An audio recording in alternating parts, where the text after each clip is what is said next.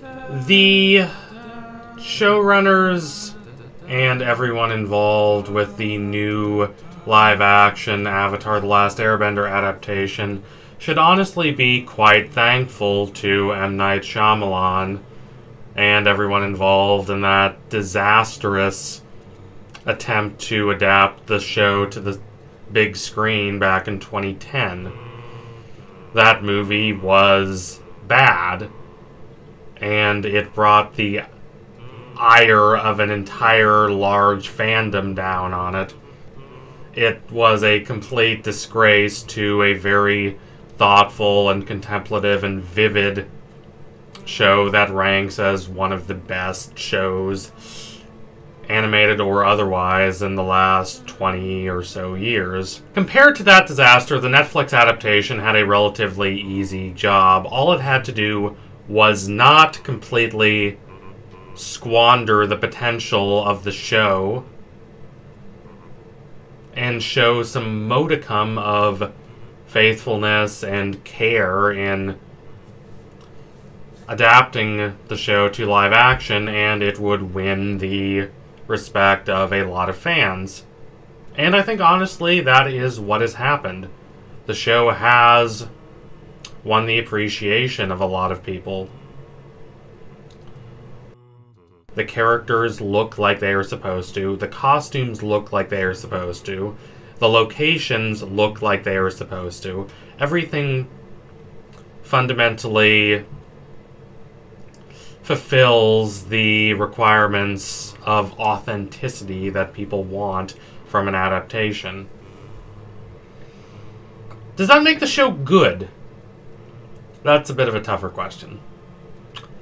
I would say it's fine. It's adequate. I cannot say that I am particularly impressed. And I would like to calmly and civilly talk about why. So much in this new adaptation feels rather superficial. Art at its best really drills down into the deep, cavernous emotions and psychological intricacies of people in a way that is clearer and sharper than ordinary mundane life allows. And that is true regardless of whether we're talking about a book written 500 years ago or a movie being made now, whether we're talking about a show that's set in a relatively realist world or one that's set in a fantastical world. The trappings matter, of course, but they matter in service to the fundamental artistic motives, which is to really demonstrate the longings and passions and laments of people and groups of people in a way that is poignant, is complex, has a sort of mature depth and breadth of understanding to it. The original show absolutely does.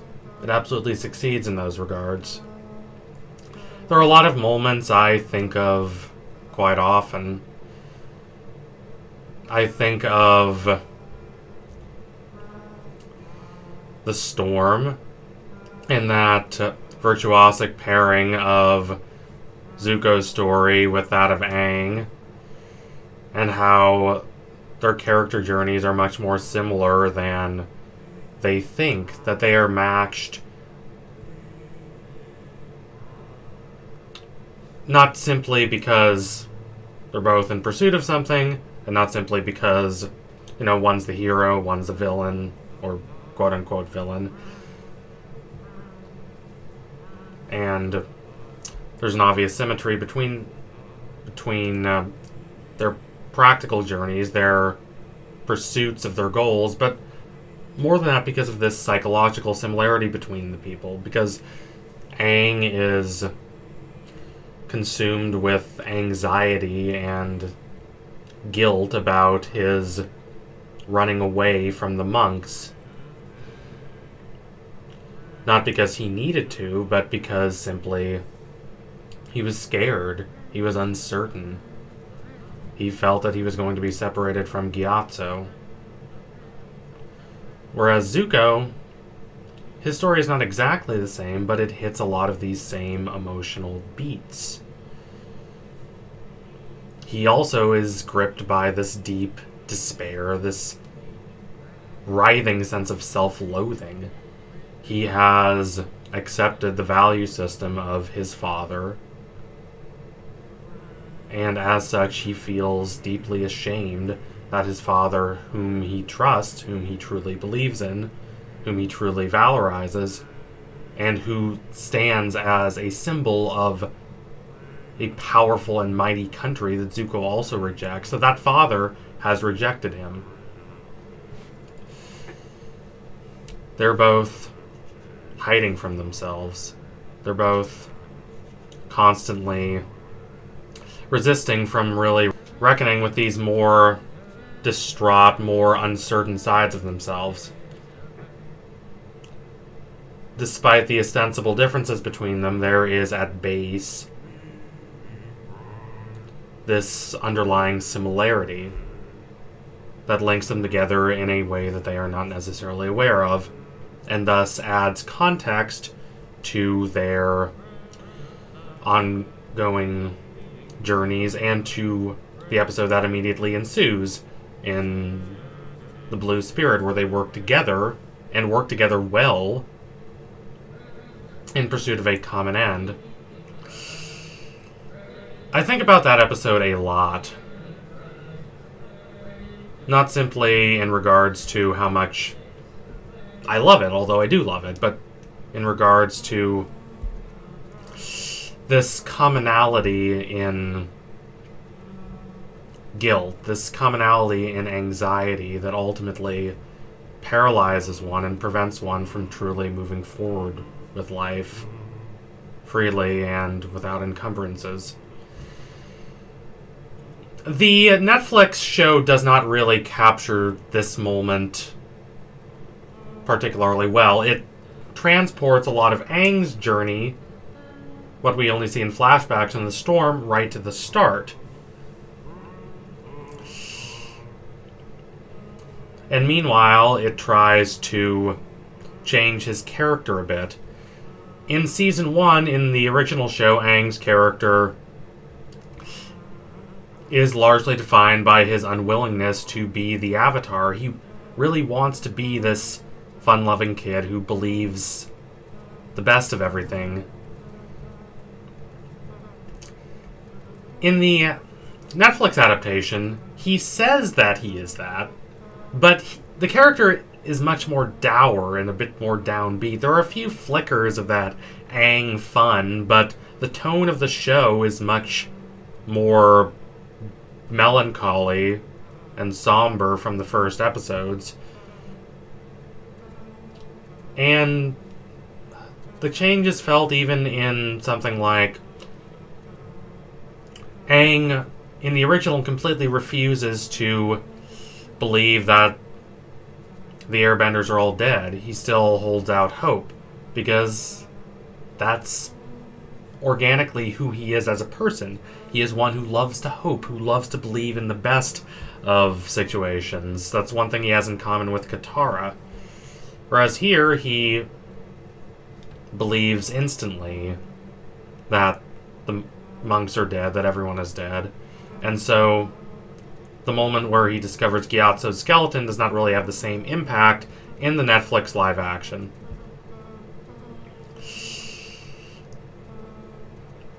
And also, since we don't learn a lot of Aang's backstory until later in the original, there is a sharpening of the parallel with Zuko. It's not just suggested that, it is deeply felt and deeply communicated. Whereas in the show, it's a bit more diffuse. The Zuko backstory is more or less saved until later.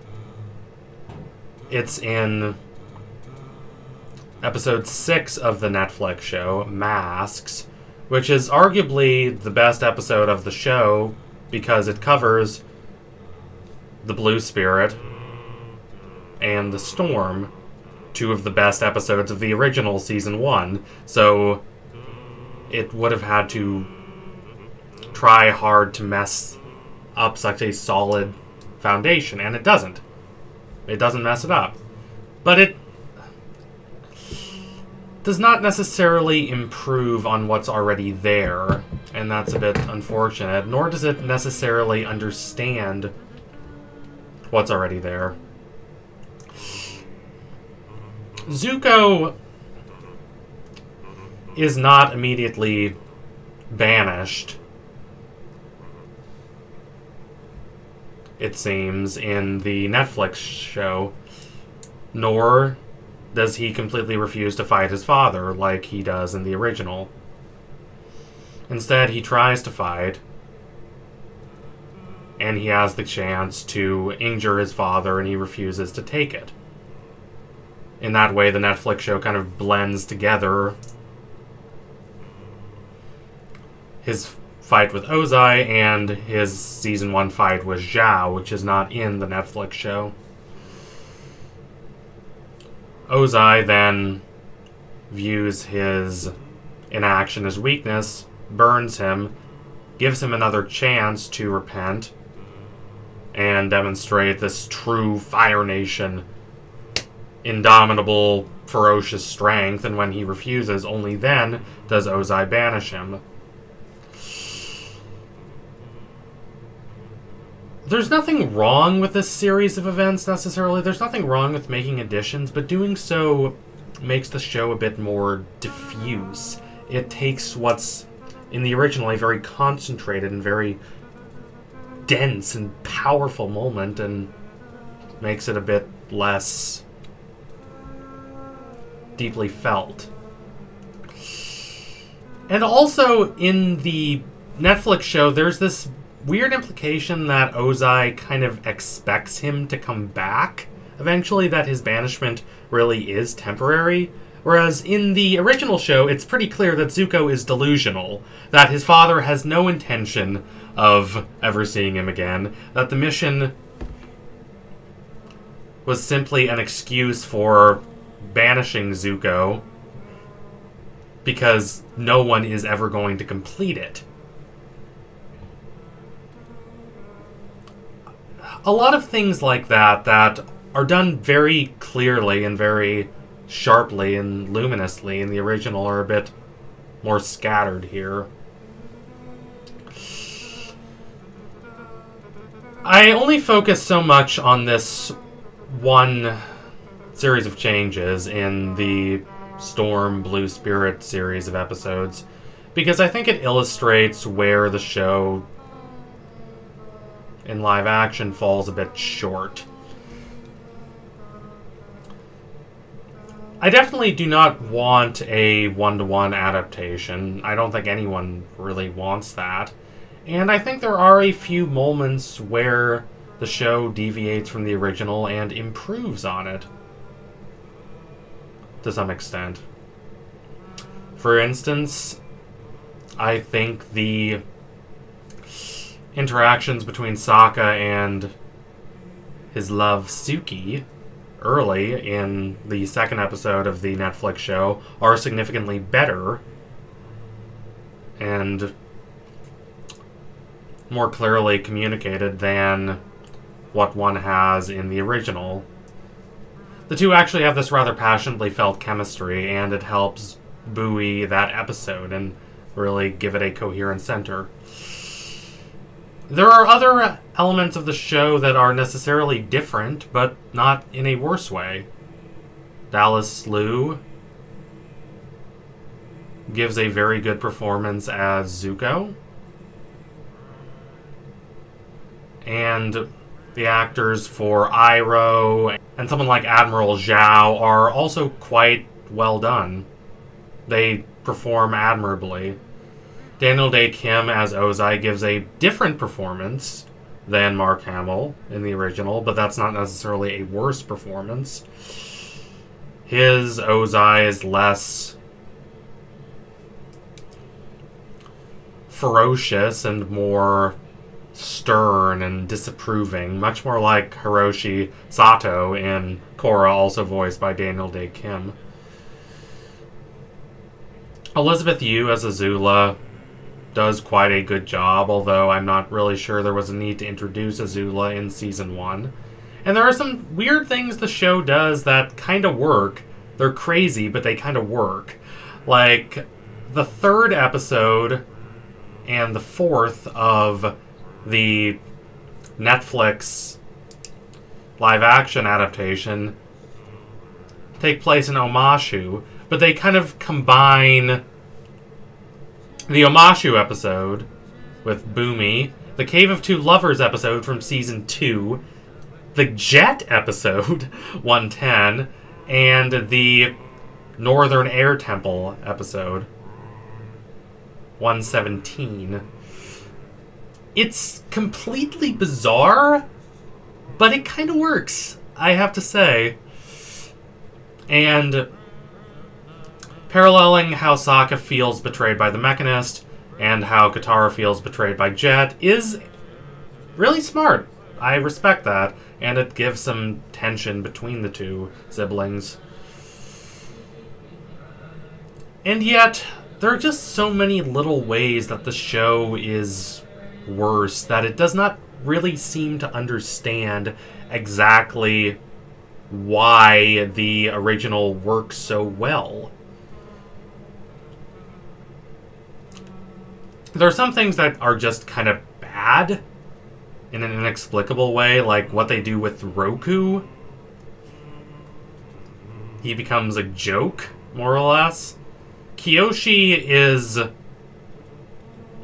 unusually stern, and her advice falls victim to the show's tendency to make every piece of dialogue as blunt as possible.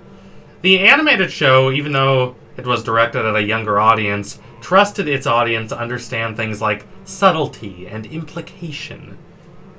The Netflix adaptation does not to the same extent. And that's a bit disappointing. One of my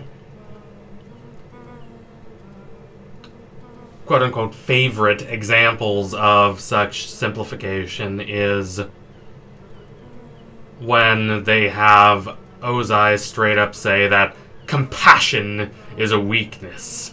And then Zuko says the same thing to Aang when he's recovering in the aftermath of the Blue Spirit shenanigans.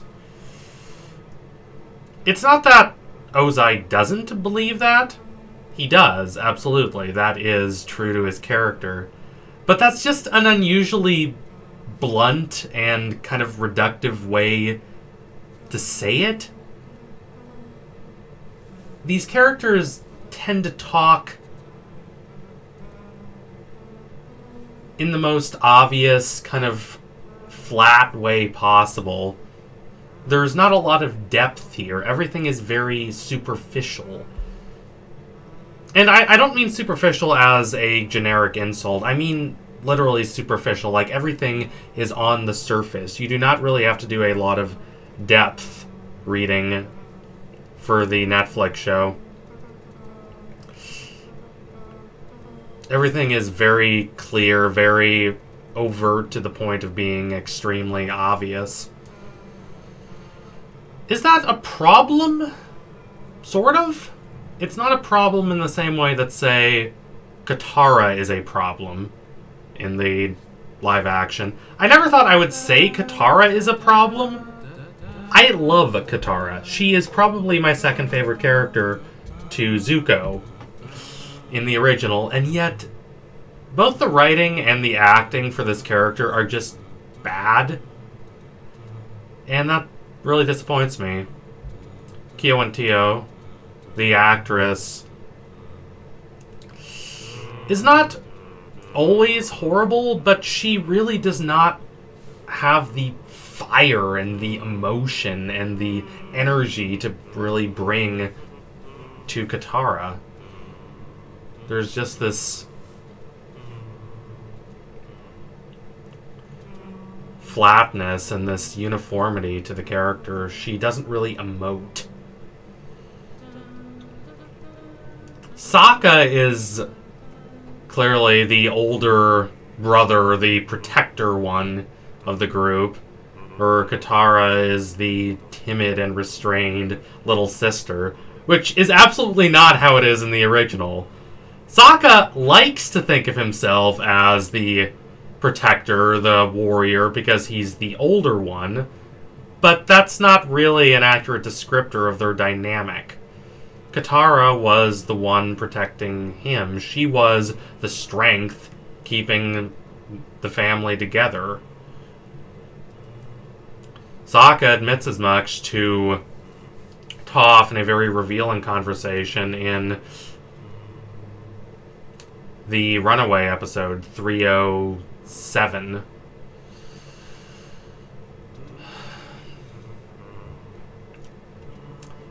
Aside from Katara, most of the characters are fine. Ian Ousley as Sokka does quite a good job. I was constantly impressed. He brings the Sokka of the animated show to life. A bit of the uh, slapstick is inevitably toned down because it's live action, but the jokes, the arch remarks of Sokka are still there. The show's not bad, and if you are an Avatar fan, you will probably like it. It's nice to see something represented in live action like that. Something you love so much. But I don't think that this show is going to attract a lot of people who are not already fans of the original.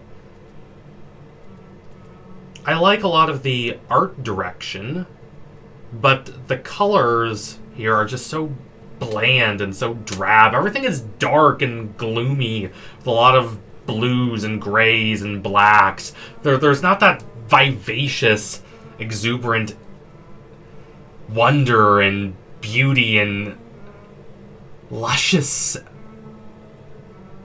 magic of the landscapes that one gets in the original, and that's just another way in which this show just feels a little less special than the original. That's probably the best way I can describe it. It just does not feel special. It lacks the spirit, the verve, the intensity of the original. Everything is just a little more blunt, a little more obvious, a little more simplistic. It's the difference between a brilliant original song and a mediocre cover. All the parts are still there, more or less. And if you like the original, you'll like the cover. And there are even a few little intricacies that the cover adds that I appreciate. Like Zuko is exiled along with the 41st Division in this version, the division that he saves and defends during the War Council meeting when the general is trying to sacrifice them. That's a, that's a nice touch. I like that. There are a few things like that, but there are far too many moments that just feel a bit sloppy, a bit uninspired, a bit inert. It's Avatar, alright. All the parts are here. They're just not assembled with imagination. The people behind this project clearly care about Avatar. They clearly like Avatar a lot, just like me and just like y'all, but they don't entirely understand why it works. Anyway, thank you all for watching. If you liked what you saw today, don't forget to like, comment, and subscribe. Donate to my Patreon if you can. And you want to see more videos like this for anyone else. Adios, comrades.